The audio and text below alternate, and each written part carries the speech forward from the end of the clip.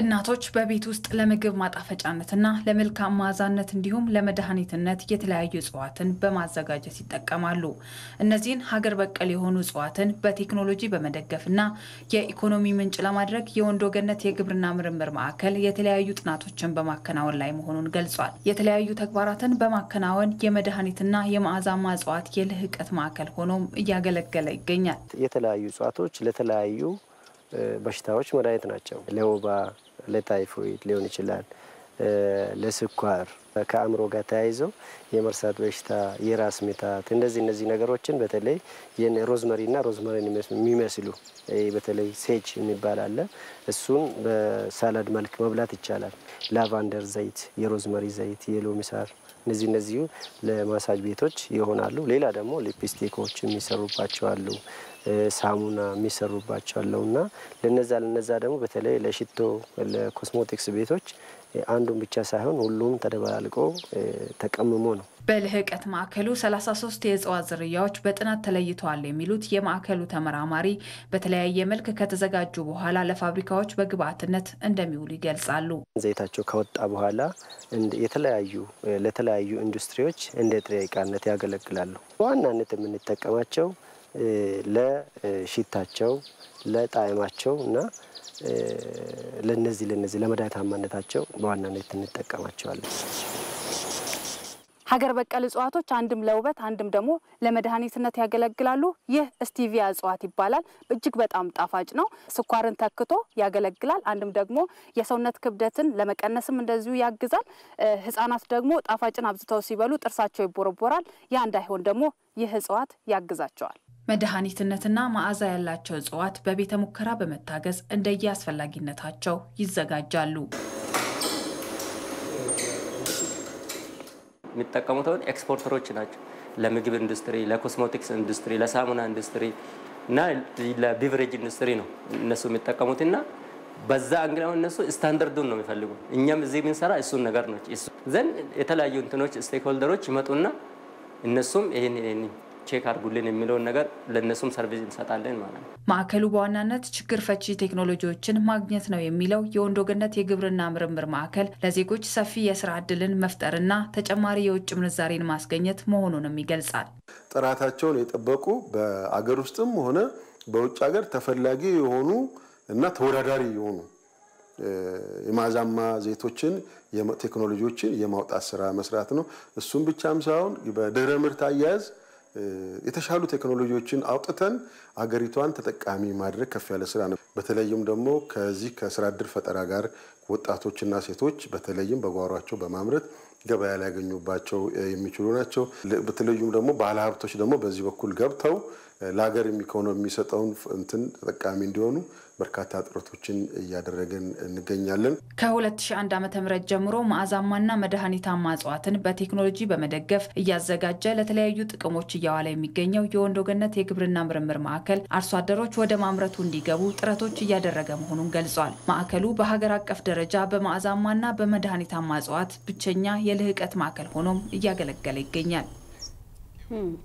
ዘገባውን ተከታትለን ተመለስን። ቀደም ሲል እንደገለጽንላችሁ እዚህ ጉዳይ ላይ ተጨማሪ መረጃ እንድናገኝ እንግዳ ጋብዘናል። እንግዳችን ደግሞ ዶክተር ታመነ ዮሐንስ ይባላሉ። ከኢትዮጵያ ብዝሃ ሕይወት ኢንስቲትዩት ነው የመጡት። የእጽዋት ባለሙያ ናቸው። ዶክተር እንኳን በደህና መጡ። ለጊዜው እጅግ በጣም እናመሰግናለን። እንኳን ደህና ቆያችሁ። እናንተም ይህን እድል ስለሰጣችሁ እጅግ አድርጌ አመሰግናለሁ። መልካም። በዚሁ እንደው ወደ መጀመሪያው ጥያቄ ልለፍና መዓዛማ እጽዋት የምንላቸው ምንድን ናቸው? ጥቅማቸውስ እንደምን ያለ ነው ከሚለውን ጀምር እስኪ። እሺ መዓዛማ እጽዋት የምንላቸው እንግዲህ በውስጣቸው ጥሩ መዓዛ የሚሰጡ ኬሚካሎችን ወይም ደግሞ ንጥረ ነገሮችን የያዙ በቅጠላቸው ሊሆን ይችላል፣ በአበባቸው፣ በስራቸው፣ በግንዳቸው፣ በቅርፊታቸው በተለያየ የእጽዋት ክፍል ይህን መዓዛ ሰጪ ንጥረ ነገር የያዙ ንጥረ ነገር ደግሞ በአብዛኛው በዘይት መልክ የሚገኝና በቀላሉ የሚተን አካባቢውን የማወድ ጸባይ ያላቸው እነዚህን ባህሪ የያዙ እጽዋቶች ሁሉም የሚሸቱ እጽዋቶች መዓዛማ እጽዋቶች ናቸው ማለት ይቻላል። በአብዛኛው የዛን መዓዛ ዘይት የያዘ እጽዋት መዓዛማ እጽዋት እንለዋለን። መዓዛማ እጽዋቶችን የተለይ የሚያደርጋቸው በሩም ተምፕሬቸር ወይም ደግሞ በትንሽ በዝቅተኛ ሙቀት የመትነን ባህሪ ስላላቸው ያን መዓዛ መልቀቅ ባህሪ ስላለው መዓዛማ እጽዋቶች እንላቸዋለን። ስለዚህ በቀላሉ የሚሸቱ ለምሳሌ እንደ ጤና አዳም፣ እንደ አሬቲ፣ ናና የመሳሰሉ እጽዋቶች መዓዛማ ዘይት ስላላቸው ስናሻቸው ነጭ ባህር ዛፍ ለምሳሌ በቀላሉ መዓዛውን ስለሚበትን የመዓዛማ እጽዋት ብለን እንጠራቸዋለን ማለት ነው። መልካም ነው ዶክተር። እንግዲህ በሀገራችን እርስዎም ቀደም ሲል የጠቀሷቸው እጽዋትን ጨምሮ በርከት ያሉ መዓዛማ እጽዋቶች እንዳሉ ይታወቃል እና እንደው በሀገራችን ያለውን አቅም ከመጠቀም አንጻር በጥናትና ምርምር ደግፈው እነዚህን ነገሮች በሀገር ውስጥ የኢኮኖሚ እንቅስቃሴ ውስጥ ከፍ ወዳለ ጥቅም ከመጠቀም አንጻር እንደው የተሰሩ እንቅስቃሴዎች እንዴት ያሉ ናቸው እንላለን? እንግዲህ በሀገራችን በሁለት አይነት መልኩ ማየት እንችላለን። እነዚህ እጽዋቶች ኢትዮጵያ መገኛ እንደመሆኑ እነዚህ እጽዋቶች በብዛት ይገኛሉ። በባህላዊ መልኩ በብዛት ስንጠቀምበት ኖረናል። አሁን እየተጠቀምበት ነው። በዘመናዊ መልኩ ግን ልክ ያለንን እምቅ ሀብት ያክል እየተጠቀምንበት አይደለም። ነገር ግን በዙሪያ የሚሰሩ ተቋማት አሉ። እስካሁን የተሰሩ ብዙ ስራዎች አሉ።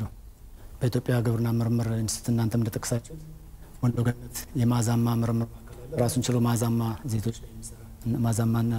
መዓዛማ እጽዋቶችና ተያያዥ እጽዋቶች ጋር በሱ ዙሪያ ብዙ ምርምር ስራዎች ተሰርተዋል። አዲስ አበባ ዩኒቨርሲቲም የታተሙ መጽሐፍቶች አሉ። በዛ ዙሪያ የተሰሩ ብዙ የምርምር ስራዎች አሉ። ወደ ኢኮኖሚያዊ ጠቀሜታ ግን በትንሹ ደረጃ ነው የገባ ነው። እንዳለን አቅም አንጻር ያን ያክል እየተጠቀምንበት ያው እንግዲህ እነዚህ መዓዛማ እጽዋቶች በበርካታ የሀገሪቱ ክፍል እንደሚገኙ ይታወቃል። ግን ብዙም ጥቅማቸውን አጎልብተን ስንጠቀም አይታየም።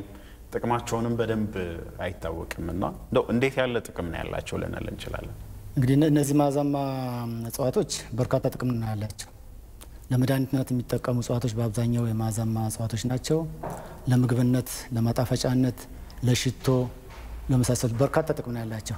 በአብዛኛው ከእጽዋቱም ደግሞ ውድ እጽዋት ለምሳሌ sandalwood የሚባል አለ። ለምሳሌ በኢትዮጵያ ቀረጥ የምንለው African sandalwood ይባላል። ካሉት የእንጨት ዝርያዎች በጣም ውድ ነው የሚል አለ መረጃ ላይ ኢንተርኔትም ጎግል አድርጎ ማግኘት ይችላል። እና በኢትዮጵያ ውስጥ አለ። ያን ያክል እየተጠቀምንበት አይደለም። ነገር ግን ከቅርብ ጊዜ ወዲህ የኢትዮጵያ ብዝሃ ኢንስቲትዩት አሁን ከአንድ ተቋም ጋር ስምምነት በመፈራረም ጥቅም ላይ የመዋል ሁኔታ እየተካሄደ ይገኛል። ከዛ የሚገኘውን ጥቅም ለአካባቢ ህብረተሰብ የማካፈል ሁኔታ አለ። ነገር ግን ካለን እምቅ የእጽዋት ሀብት አንጻር ወደ ዘመናዊ መንገድ አስገብተን ጥቅም ላይ እየዋል ነው ለማለት ገና ጅምር ነው አሉ። የተወሰኑ የግልም የመንግስትም ተቋማት አሉ። ያን ዘይቶች extract አድርገው ወይም አውጥተው ለገበያ የሚያቀርባሉ። ግን ጅምር ነው ያለው እስካሁን ድረስ። ጠቀሜታቸው ግን በጣም ሰፊ ዘርዝረን የማንጨርሰው በመድኃኒት፣ በምግብ፣ በመዋቢያ በአብዛኛው ነገር የምንጠቀምባቸው እነዚህን የዘይት አይነቶች ነው የምንጠቀመው። እንደውም ምርምር ተደርጎባቸው ለህብረተሰቡ ከመድረሳቸው በፊት እንግዲህ እንደ ባህል በጣም ብዙ የምንጠቀምባቸው መድኃኒቶች አሉ። ለምሳሌ እንደ ጤና አዳም ያሉትን መጥቀስ ይቻላል። እና እንደው ይሄ ነገር ይሄ መዓዛማ እጽዋት ለእንደዚህ አይነት በሽታ ጥቅም አለው ብለው የሚነግሩን አለ? እንግዲህ እጽዋቱን አሁን ለዚህ በሽታ ነው ለማለት በባህላዊ መልኩ ብዙ እንጠቀማለን። ነገር ግን ከሳይንሳዊ መልኩ እንደዚህ ሚዲያ ላይ ይሄ መድኃኒት ለዚህ ነው ለማለት ትክክል ላይመጣ ስለሚችል ሰው ምክንያቱም በተለያየ መንገድ ስለሚጠቀምበት፣ ነገር ግን በርካታ እጽዋቶች በመድኃኒትነት የምንጠቀምባቸው አሉ። ለምሳሌ ቀበሮችን መውሰድ እንችላለን። ቀበሮች እንዲያውም በኢትዮጵያ ብቻ ነው የሚገኘው። ከኢትዮጵያ ውጭ የትም ቦታ አይገኝም። endemic የምንለው ማለት ነው፣ ከኢትዮጵያ ውጭ የማይገኝ ስለዚህ ቀበሮች አሁን በባህላዊ መልኩ ለብዙ ነገሮች ይጠቀሙበታል። ከብቶች ሲታመሙ፣ ሰዎች ሲታመሙ ቤት ጭሱን በማጨስ እና ለመድኃኒትነት ለበርካታ እንትን እንጠቀምበታለን። ለምሳሌ በቆላማው ሀገራችን አካባቢ ጸመና የሚሉት አለ። ለምሳሌ Vicks አለ አይደለም? አሁን አሁን እየቀረ ነው እንጂ የምትሸተታለች። ያ ቪክስ የሚመረትበት እጽዋት በቆላማው አካባቢ አለ። እሱን የአካባቢው ህብረተሰብ ከያዘ እባብ አይቀርበው እባብ የሚያባረር በሽታው ራሱ እባብ ያባርራል። ይሄ በባህላዊ መልኩ ሲሆን በዘመናዊ መልኩ ደግሞ ቪክስ ተሰርቶ ለጉንፋን ይሆናል፣ ለመታሻ ይሆናል። ለነዚ አይነት ነገር እንጠቀምበታለን። ካለን እምቅ አንጻር በጣም በርካታ ናቸው። እኛ ግን በጣም ትንሿን ነው እየተጠቀምንበት ያለው ማለት ነው። እንደው ምናልባት ዶክተር ያው እርስዎም የእጽዋት ምርምር ላይ እንደሰራ ባለሙያ እንደው እነዚህን መዓዛማ የሆኑ እጽዋትን በዘመናዊው የሕክምና ዓለም ውስጥ ከመጠቀም አንጻር የደረስንበት ደረጃ ይኖር? በእኛ ሀገር እንግዲህ እንደነገርኩ ጅምር ነው፣ ጅምሮች አሉ። ነገር ግን ካለን እምቅ የእጽዋት ሀብት አንጻር ብዙም እየተጠቀምንበት አይደለም። በተለያዩ ሀገሮች እነ ህንድ እነ ቻይና በብዛት ይጠቀሙባቸዋል። እኛ ግን resource አለን፣ ሀብቱ አለን። ነገር ግን ጥቅም ላይ የመዋል ሁኔታው አነስተኛ ነው። በምርምር ደረጃ ይሰራል፣ ይወጣል። ግን ያ ደግሞ በሰፊው ደረጃ ተባዝቶ በሰፊው ደረጃ ተመርቶ ከኛም ሀገር ተጠቅመንበት ኤክስፖርት የማድረግ ሁኔታ ገና ጅምር ላይ ያለ ነው። ብዙ ይጠበቅብናል ማለት ነው። እንደው ዶክተር ታመነ ቀረ የሚሉት ሀሳብ ካለ ወይም ማስተላለፍ የሚፈልጉት ነገር ካለ ድሉን ስጦት። እንግዲህ እነዚህ ማዛማ እጽዋቶች ስንመለከት በተፈጥሮ የሚገኙ አሉ፣ እንደገና በአርሶ አደሮች የሚመረቱ አሉ። ስለዚህ እንደዚህ አይነት ነገሮችን ስናስተዋውቅ ወይም ደግሞ ወደ ጠቀሜታ ስናስገባ በአብዛኛው ከተፈጥሮ ስለሆነ የምንሰበስባቸው የኢትዮጵያ ብዝሃ ሕይወት ኢንስቲትዩትን ደግሞ መጠበቅና ተመራማሪዎች የማድረስ ስራ ስለሚሰራ በዚህ አጋጣሚ ጥቅሙን ብቻ መናገር ሳይሆን የምንሰበስበውን ደግሞ ከተፈጥሮ ተፈጥሮ እንዳይጎዳ ተፈጥሮውን ራሱ በሚያገግምበት መጠን መጠቀም መቻል አለብን የሚለውን ለማስተላለፍ ፈልጋለሁ።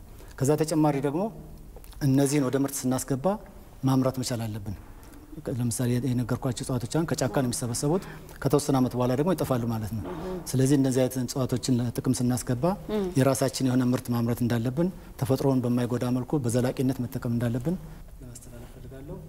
እነዚህን እጽዋት ደግሞ የመጠበቅ ስራ የአንድ የሁለት ተቋም ሳይሆን አጠቃላይ የማህበረሰቡ ዶክተር ታመነ ዮሐንስ ከኢትዮጵያ ብዝሃ ሕይወት ኢንስቲትዩት የእጽዋት ባለሙያ ናቸው። በማለዳ እዚህ ተገኝተው ለሰጡን ሀሳብ በጣም እናመሰግናለን። እናመሰግናለን። ሰላም ዋሉ።